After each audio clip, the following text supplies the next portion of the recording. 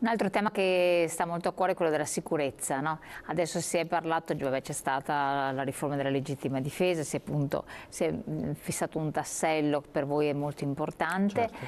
ma cosa vuol dire sicurezza nel territorio? E quindi a livello nazionale, dei confini e sicurezza poi nei, nei comuni. Ma la sicurezza nel territorio vuol dire innanzitutto rafforzare eh, i nostri agenti di polizia, penso alla polizia, ai carabinieri, alla finanza, ai militari, a tutti gli organi che sono deputati alla sicurezza di tutti noi cittadini. Sicurezza si fa all'interno del territorio nazionale in tutti i suoi profili e le sue declinazioni e anche all'esterno.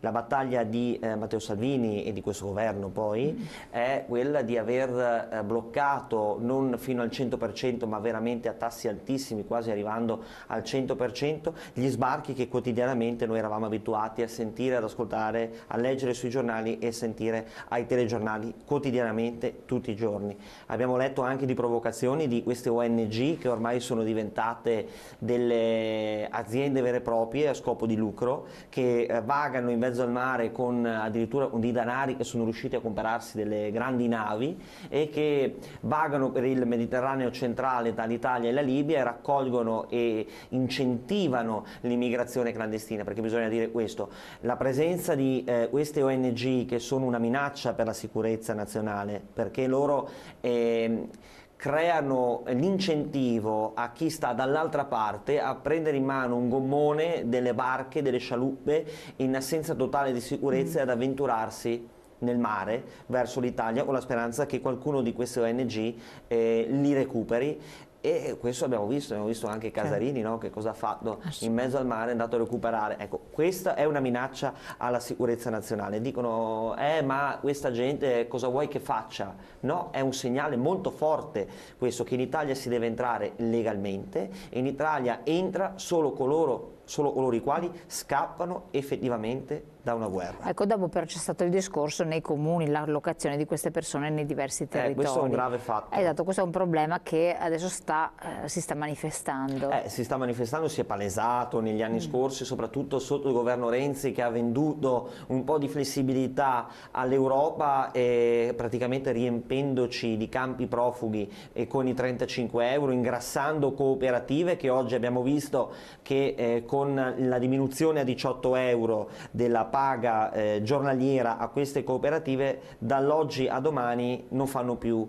beneficenza, non fanno più solidarietà, non aiutano più il prossimo perché i conti non quadrano. Allora solo se i conti quadrano abbiamo, eh, abbiamo la solidarietà, se i conti non quadrano la solidarietà va a farsi benedire e queste cooperative spariscono e non partecipano neanche più ai bandi.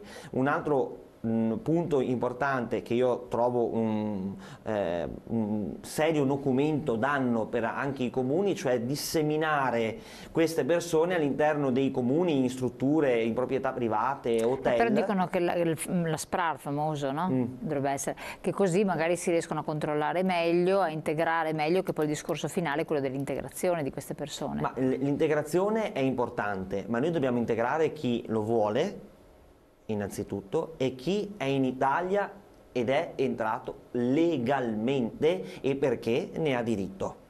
Noi non possiamo spendere milioni di euro, ma non milioni, miliardi di euro per questa accoglienza che molto spesso si è palesata essere una finta accoglienza, cioè gli hotel, le strutture erano diventate dei semplici eh, alberghi dove la gente andava a mangiare e a dormire, durante il giorno vagavano per le città, tanti anche sono scomparsi, hanno preso il treno, sono andati verso la Germania, verso la Francia, dove lì hanno molte famiglie, hanno amici, eccetera. Quindi oltre al danno abbiamo avuto anche la beffa.